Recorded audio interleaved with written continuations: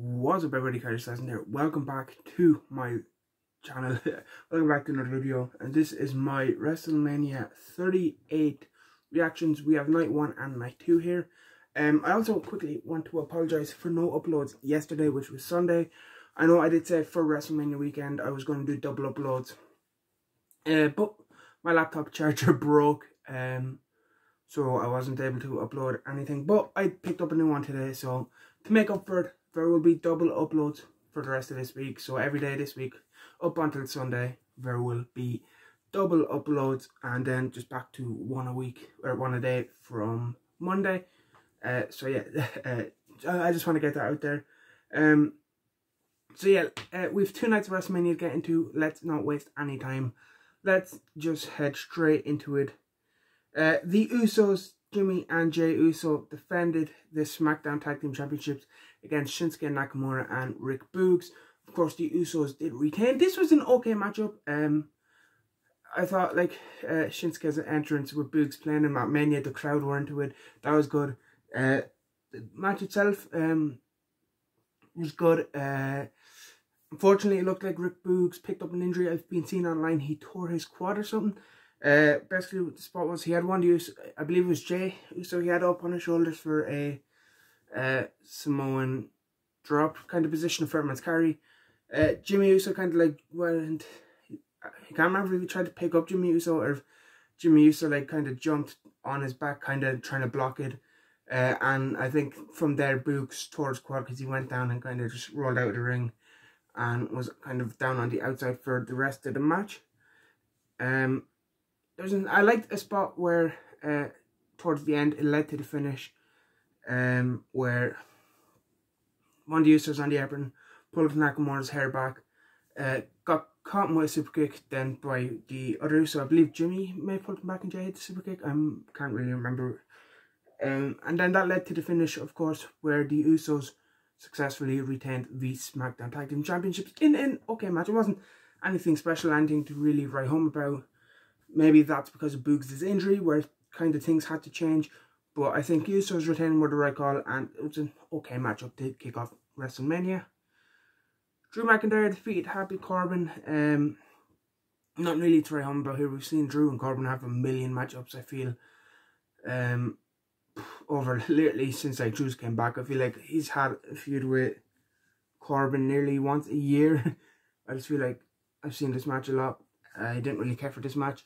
Drew kind of predictably got the win. I didn't see Corbin getting the win here over Drew Armenia, even though since he became Happy Corbin and doing that character, uh, Corbin apparently has been undefeated. Um, after the match, uh, Madcap Moss, of course, the winner of the Andre the Giant Memorial Battle Royal, which took place on SmackDown. Uh, he's kind of standing on the apron. Drew gets the sword and just like literally cuts the ropes in half to kind of intimidate Moss. Uh, Miz and Logan Paul defeated Rey and Dominik Mysterio. Um, I'm not like I'm not the biggest look. I'm not like I don't really care about Logan Paul. I'm not a fan of him, but I also don't really like not one of the haters of Logan Paul. Like he's like I'm indifferent. Uh, but he was impressive in this match. I thought he uh, held his own in this match against Rey and Dominik. Um, of course, him and the Miz picking up the win here. After the match, the Miz hits Logan with the uh, skull crushing finale. And uh, yeah, so I don't know if this is a Miz face turn or if they're like trying to turn Logan face and kind of have him go against Miz.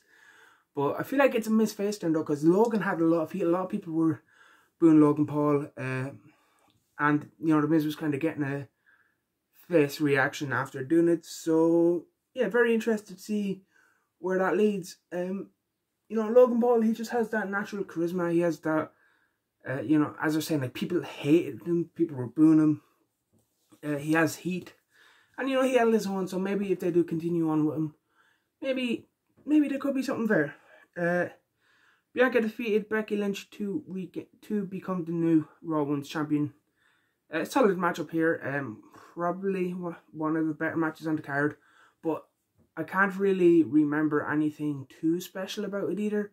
Uh, Becky had her own special entrance. I believe she came out in a, was it a car? Uh, Bianca also had a special entrance with like a band playing her theme music. Um, and yeah, a solid matchup here. Um, yeah, I um, not really memorable two days later trying to think back to it. Um, but yeah, it was a okay matchup. I can't really think of anything bad about it either. Uh, Seth Rollins, his open challenge was answered, of course, by he. Uh, he comes out. He was in the ring, and then all you hear is the lights go out. Wrestling has more than one royal family, and then something's uh, adrenaline in my soul. Something, something. Cody Rhodes answered Seth Rollins' challenge. And he's got his AEW gimmick, you know, it's not dashing Cody Rhodes, it's not smoke and mirrors Cody Rhodes, it's the American Nightmare. They call him the American Nightmare. He's full on American Nightmare here. He even had his Cody entrance where he comes up through the stage. Um, and yeah, he gets the win over Seth. Probably my pick for match of the night on night one. I thought this was a solid matchup. Cody looked good in his return. Of course, gets a big win over Seth. And uh, yeah, the finish, Cody hits him with two Cross Rhodes, picks him up, dusty elbows, third Cross Rhodes, and a one, two, three. Very interested to see where Cody goes from here. Um, what the plans are for Cody. Um, you know, it's like this is this is kind of huge. This is how I imagine a lot of people during the Monday Night Wars feel. Like Cody Rhodes was one of the founding members of AEW, so now to see him go, like we've seen people, you know, go from WWE to AEW, like Daniel Bryan, Moxley, um, you know, Adam Cole, just to name a few. But now it's the other way. Now it's a star from AEW going to WWE. So now things are kind of heated up a bit.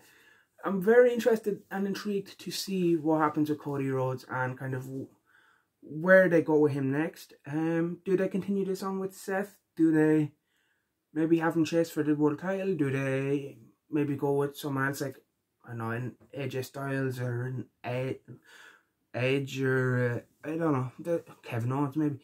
Uh, so yeah, very interested to see uh, where kind of they go with Rhodes after this. Uh, Charlotte Flair retained over Ronda Rousey. Again, not really special. I'm struggling kind of to think back to this match, if I'm being honest. Um, but yeah, uh, I remember Charlotte had or Charlotte tapped out, but the referee was down. Ronda hit, then hits Piper's Pit. Uh, referee counts to three, but then notices Flair had the foot on the ropes. Referee kind of distracted. Um, Charlotte hits natural selection and retains. Uh, and yeah, I feel like with how this match ended, you know, with Charlotte tapping, with her technically getting a three count, but then referee reversing the decision because he's seen the foot drop. I feel like there's more to come with Charlotte and Ronda. Uh, then Stone Cold Steve Austin versus Kevin Owens. And with how they were hyping this up, I was like, this has to be match. I was like, there's no way this isn't a match. And uh, then when Stone Cold came out, he had the jean shorts and I was like, yeah, I'm yeah, this is a match. But, um, uh, and uh, yeah, so uh, Stone Cold comes out. You know, basically him and Kevin Owens back and forth. Turns into a no holds barred match, and it was okay it was your typical Stone Cold Steve Austin Attitude Era match where he's just kind of walking around the arena brawling, no weapons usage. Uh, there's a funny spot where the boat, Austin he enters on the ATV. Uh, like Kevin Owens gets on a trying to escape. Austin like cuts him off and they like drive up the ramp on it. Um, so yeah, I you know first uh, Stone Cold match for the first time in twenty years. You know it, it wasn't bad. It was okay. It was good. Um, like I feel like Steve didn't like disappoint you, you know, and and uh, yeah, it was good seeing Stone Cold again because what wrestling fan doesn't love Stone Cold Steve Austin? Gets the win with the stunner, of course. You know, goes to drink a beer. Yeah, I remember uh, stunners, Byron Saxton, um, and uh, yeah, that's the end of night one. Ending days, happy days with Stone Cold on top in 2022. Like, what is this? Uh, we'll be getting back to more of that. Uh, what what year is this type of stuff in a bit. And me saying that isn't necessarily complaining either. Um, night two start off with again one of the matches I was kind of looking forward to. Uh, RK Bro defended the uh, uh, tag team championships against the Street Profits. Uh, actually, before I get into this, Triple H made his entrance on night two. Basically, said thank you to fans and left his boots in the ring it was good to see Triple H get one more like just it was good to see Triple H get that one moment where he can uh, you know, just thank the fans and say goodbye to the fans as a ring-in competitor. And, you know, hearing, you know, time to play the game, seeing Triple H coming out, spitting the water again. At least, he got, at least we got to see that one more time as fans. Of course, I'm sure, kind of like how we see Austin come back every now and again for appearances. We'll definitely be seeing more Triple H. Like, I feel like that's not the last time we'll be seeing Triple H on screen. But, you know, he's now that he's officially retired from in-ring stuff, it was just good to see him get that one moment to say uh, goodbye. Uh, so first match, Raw Tag Team Championship match, RK Bro defended against Street Profits and the Alpha Academy. Very, very enjoyable match. I loved this match. Disappointed the uh, Alpha Academy lost. Shoosh. Uh, I love the Alpha Academy. I love Chad Gable. I love it. So I was kind of hoping they'd get the win and get a bit of WrestleMania moment. But uh, nah, the RK Bro retained.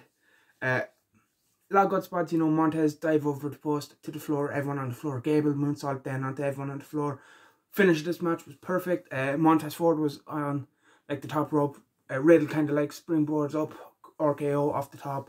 Chad Gable then in the other corner goes for the gets caught with an RKO by Orton. One, two, three. RK Bro retain. After the match, Street Profits uh, offer, you know, RK Bro a solo cup. Like, let's have a drink to celebrate. But before they do, to see Gable Stevenson, of course, newly signed to WWE, uh, sitting ringside, they invite him into the ring. They go to have a drink with him. Chad Gable cuts him off, and uh, Gable Stevenson hits a beautiful, beautiful German, or belly to belly, sorry, onto Chad Gable. It looked so clean. I, a lot of that probably is on Gable selling it of it. But uh, yeah, that was such a clean, good looking uh, German, or belly to belly. I keep saying German suplex, it was a belly to belly. Um, and yeah, I feel, I feel like Gable Stevenson is someone that I maybe could have a lot of potential. But first, we kind of have to see him in the ring a bit more. But if he's throwing people around like that every week, he might have a fan in me. Uh, Bobby Lashley defeated almost uh, kind of a not match. Uh, it's kind of what you'd expect between Lashley and Omos. Uh, Lashley hit a couple of spears and got the win. Then my personal favorite match between both nights, my favorite match of uh, both nights of WrestleMania. This was everything I wanted this to be. It was exactly what I wanted. Johnny Knoxville defeated Sami Zayn. I said in my predictions, I just wanted this to be Jackass Gate after Jackass Gate, and it was. You know, you had Wee Man getting involved, slamming uh, Sami Zayn. You had Chris Pontius doing the party boy stuff. Uh, um, yeah, yeah, you know, you had the the giant hand slap thing. You had um, tasers. Uh, Sami took a bump onto like a table with mouse traps on it from the top rope onto the floor. And then, you know, John Knoxville brings out a big giant mouse trap, traps Sami Zayn in it. It almost doesn't work, the mechanics for some reason didn't like really set off straight away. But you know, Johnny Knoxville kind of being a pro with like doing stunts like and kind of using props like that, kind of knew how to fix it and he got it to work in the end. So he saved it. And um, yeah, I, I, I loved this match. I'm a big Jackass fan. I, of course, I'm a big Sami Zayn fan. So seeing this, it, they pulled it off. It was what I wanted. I just wanted a lot of Jackass stunts, and I got that. And it was entertaining. Everyone loved it. Um, the crowd were very into it. You know, Wee Man got one of the biggest pops of the night. Um, and yeah, I, I, I enjoyed this. It was a lot of fun. Like, if you like Jackass, you'll probably like this match. Uh, and yeah, even in defeat, I feel like even losing to a celebrity, like I don't feel like Sami Zayn, like his value has been hurt with by that. And like, you know, it fits Sami Zayn's character, you know, he's always going on about like conspiracy theories against. We can just say everyone got involved, like it wasn't fair. And you know, it works for Sami Zayn taking a fall here. Um at 10, Sasha Banks and Naomi defeated Queen Zelina Cam and Carmella, Rhea and Liv Morgan and Natalya and Shayna Baszler to become the new WWE Women's Tag Team Champions. Uh, I can't really remember a lot from this match, if I'm being honest. I felt really bad for them though, having to follow that Knoxville and Sami match because that was so good. I just felt like uh, I needed like a bit of a breather, so I kind of was not really fully paying attention to this match. Um, but yeah, Sasha and Naomi, new Raw or new Women's Tag Team Champions. Actually, I maybe have lied. Then we had Edge versus AJ Styles.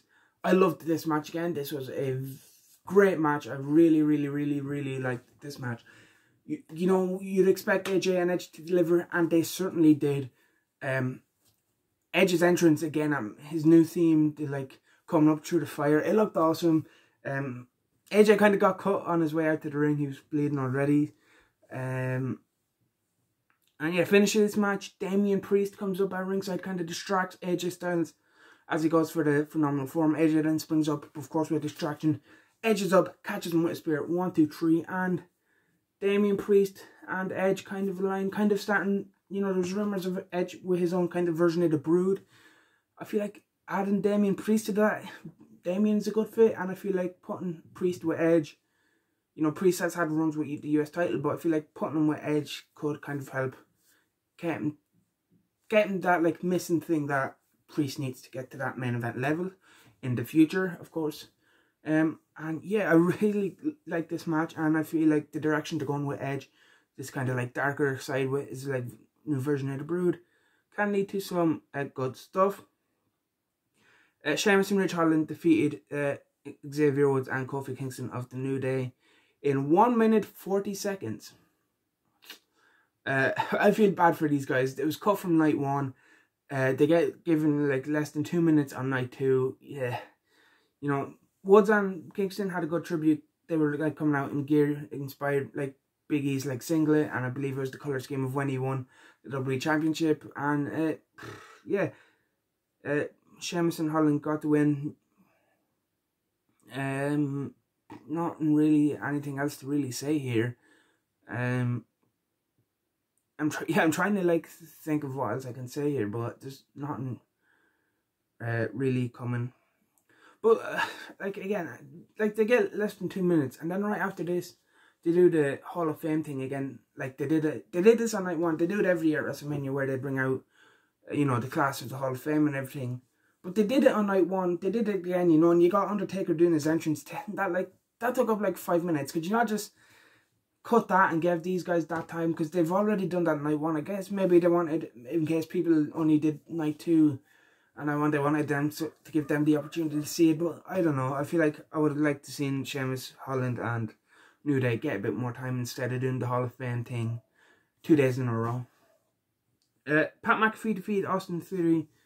I, I like Pat McAfee impresses every time he sets in steps out in the ring. He's a natural you know, every time he has a match, whether it's War Games, whether it's Adam Cole, I feel like everyone is always blown away by Pat McAfee. He just has that charisma. You know, they gave him a Seven Nation Army as well as his team music. So, you know, for the whole match, the whole match, uh, the arena was just going, uh, like singing along. you know, like that was going for the whole match. Like, and if you were watching, you would think Pat McAfee is one of the most over people in the company, if not the most over, with how like that reaction he's got. You know, he had like the Dallas Cowboys cheerleaders coming out with his entrance. Uh, Vincent McMahon, of course, was at ringside with Austin Theory. Uh, Pat gets the win over Theory. Uh, and then as he's kind of like celebrating, you know, he's kind of getting in Mr. McMahon's face. Mr. McMahon kind of is going back and forth with him. And then Mr. McMahon decides, you know what, I'm going to step in the ring. Takes his suit off he has his vest on. Referee comes running in. And we get Pat McAfee versus Vincent Kennedy McMahon. Yes, that is right. Mr. McMahon had a wrestling match in 2022. And he actually beat Pat McAfee. Um, uh, the finish was uh, Vince punted a ball into the midsection of McAfee. And that's how he got the three count. You know, then Vince and Austin Theory are kind of like celebrating in the ring. And then the glass shatters down comes good old Stone Cold Steve Austin, opening another can of whoop-ass on day two.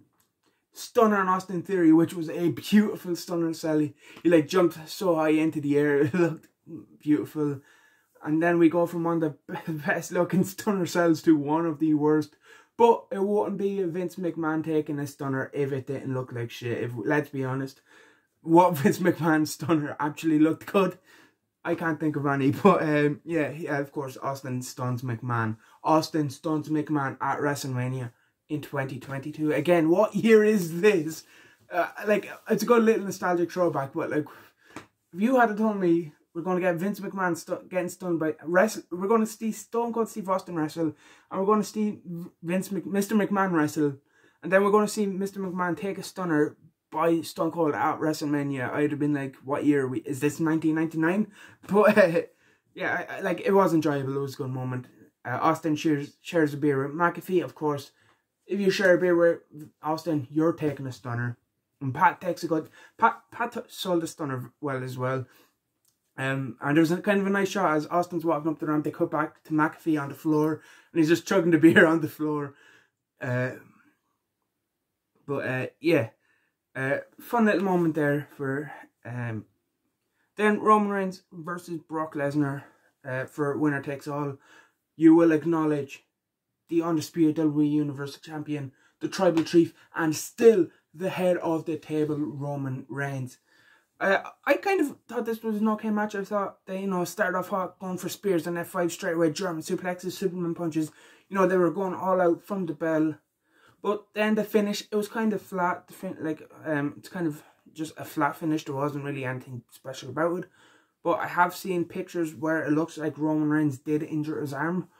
Uh, whether that is true or not, um, maybe that um explains for a bit of a flat finish. But uh, yeah, I thought the core of the match at itself, kind of the nice, uh, like big, powerful moves going straight for the finish from the bell.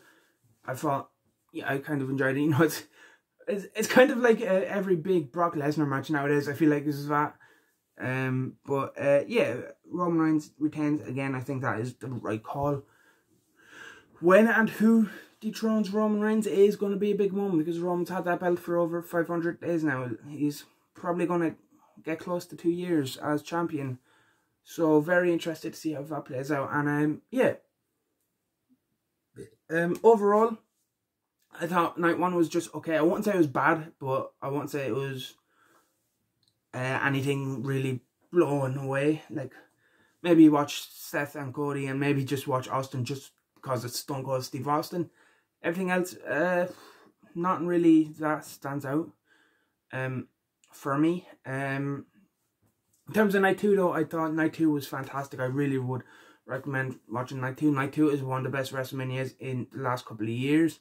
Um, and yeah, I feel like overall, if we're including both nights together, it's a very good WrestleMania. I very very enjoyable WrestleMania. Definitely would recommend watching it. Uh, night I like as I said, night two definitely very carries a lot of that in my opinion. But you know, night one did have its moments like uh, Cody's return, uh, Austin wrestling, as well. So there there was stuff on night one that I would say like go and watch. But uh, yeah, let me know in the comment section below your prediction or your reactions to WrestleMania. Maybe if I decide to, I'm, I'm like tired, like I'm tired from staying up till like five a.m. the past two nights to watch WrestleMania. So I'm not saying this is a guarantee, but maybe, maybe, maybe um, if I stay up for Raw tonight, I might do a review for the post WrestleMania Raw. Again, that is not a guarantee. That is a we'll see how I'm how tired I am. But uh, yeah, that is it for this video. If you did enjoy, please leave a like, comment, and subscribe, and I will see you in the next one.